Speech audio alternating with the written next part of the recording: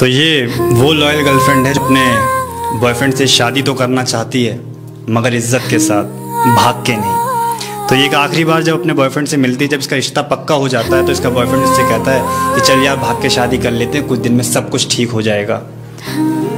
तब ये उससे कुछ बात कहती है, कुछ लाइंस कहती है, वो मैं पेश करूँगा, आप सुनिएगा कि, तू नहीं, चैन नहीं, सुकून नहीं इससे बुरी ज़िंदगी क्या होगी? जब उस लड़के ने बोला कि चलो भाग के शादी कर लेते हैं तब ये कुछ लाइन बोलती है कि तू नहीं चैन नहीं सुकून नहीं इससे बुरी ज़िंदगी क्या होगी?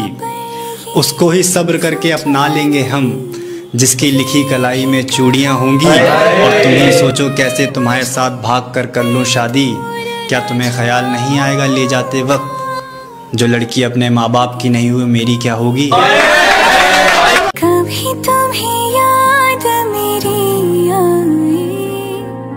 You Miracle ko apa ini